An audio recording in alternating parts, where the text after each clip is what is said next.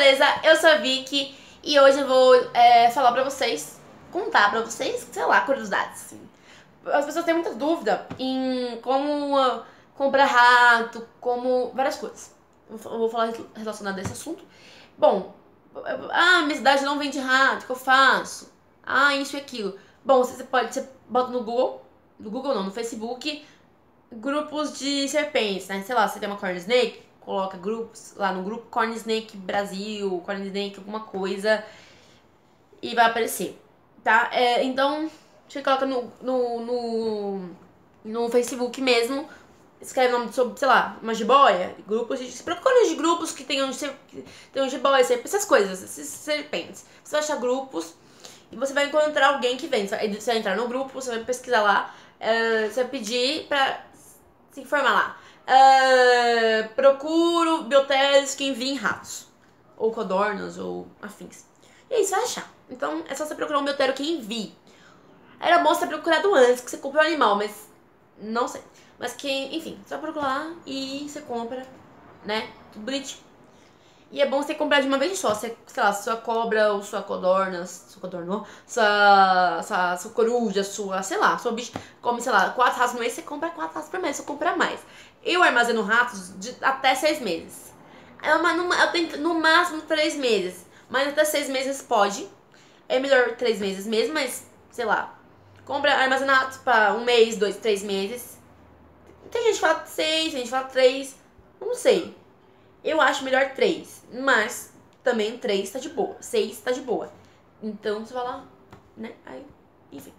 Como é embalar os ratos, como armazenar os ratos? Normalmente, as pessoas já os biotérios bons mesmo já enviam corretinho no plastiquinho, tudo bonitinho.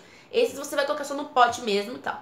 Quando o rato, ele não vem desse jeito, ele, sei lá. Então, quando, por exemplo, eu já bati lá um rato, então, tá lá na minha mesa, então, eu pego, eu enrolo ele de papel, toalha. Depois eu enrolo em sulfilme, que é aquele plástico transparente para comida mesmo. Pronto, coloco lá dentro do freezer, bota no pote se quiser. Uh, enfim. E para descongelar, você pega aquele, aquele saco, aquela sacola, pra rumina mesmo. Você vai jogar o rato lá dentro e vai fechar. E. E vai. Bota dentro de uma água quente ali. Não, não muito quente para não, né, sei lá. E você vai lá descongelar também. Uh, bater rato, gente. Eu não gosto de bater rato.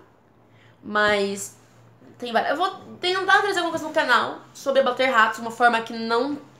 Uma forma que. Uma forma mais simples, né? Vou, ah, isso aqui é indolor, ah, não sei o quê. Mas eu, eu acho que tudo tem dor, tem sofrimento pra matar, mas eu. Não, não, ah, eu vou ver se eu acho alguma forma legal pra mostrar pra vocês. De um jeito simples, né? Que não, não, não, traga tanto sofrimento pro animal, né? Vou tentar. Mas tem, as pessoas, mas tem vários vídeos mostrando como abater, então vocês botem aí no Google, no Google, no YouTube e tenta achar. Tem diagnóstico de deslocamento da coluna cervical, esse é o melhor, é o mais rápido.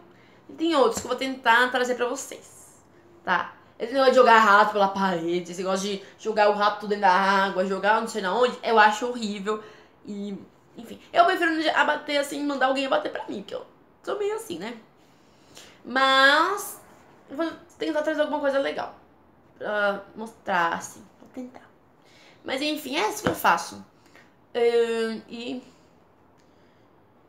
E armazenar o rato assim é um jeito bem legalzinho.